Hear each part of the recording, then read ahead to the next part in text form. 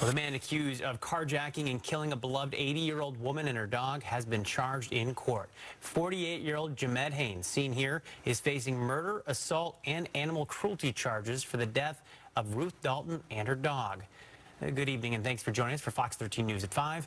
I'm Matthew Smith. And I'm Hannah Kim. As Fox 13 reported yesterday, Haynes refused to appear in court. Today's hearing canceled after prosecutors rush filed the case, so Fox 13's Alejandra Guzman has new details of this horrific crime. Henny Matthew, these new charging documents speak to the sheer brutality of Haynes' actions that morning, how he killed not only Ruth, but how he also disposed of her dog. Documents say he shoved the 80-year-old out of the SUV. He put her in a vulnerable and dangerous position until he gained control of her SUV. Now, Haynes was expected in court today, as you guys mentioned, but given the accusations, prosecutors say they had enough to charge him. Haynes is now being held with no bail after the King County Prosecutor's Office described his behavior, which they presented in court. Take a listen. This is very concerning and, and serious behavior that we believe these allegations are a danger to the public. That any time that we ask for somebody to be held without bail, that's as as as high as it or as as extreme as it can go in Washington State. And we've got to show the court why we think that there is that serious danger to the public. And we effectively did that today.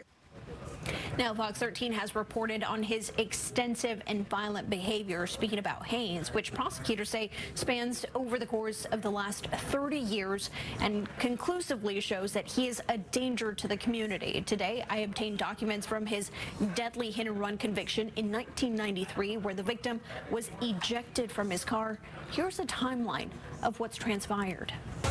Around 10 a.m. Tuesday, police were called to the Madison Valley neighborhood where several neighbors reported Ruth Dalton, a respected dog walker, was being carjacked.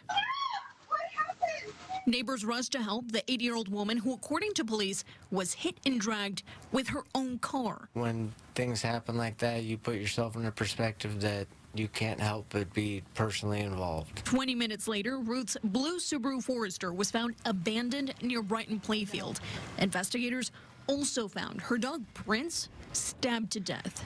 Mere hours after Ruth was killed, an outpouring of love and support as neighbors, friends, and dog walkers all came to pay their respects. This is just gorgeous and wonderful in her honor. If there's any comfort in this situation, is that she was doing what she loved and what she wanted to be doing up until the very end. On Wednesday, just a day after Ruth's violent murder, police made an arrest. I found in custody under control.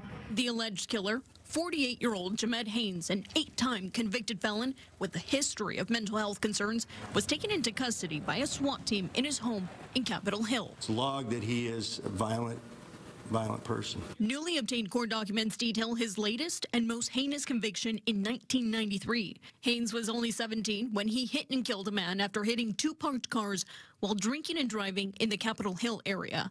Documents say he hit the man so hard the victim flew 100 feet.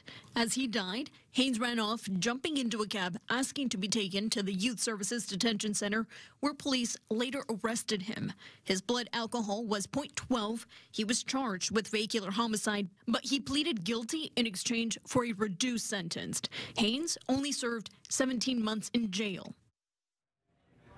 Now, Haynes is expected in court next month where he'll enter a plea. In the meantime, Ruth's granddaughter is planning a walk in her honor. Fox 13 will, of course, keep you posted on those details. For now, in the newsroom, I'm Alejandra Guzman. Back to you.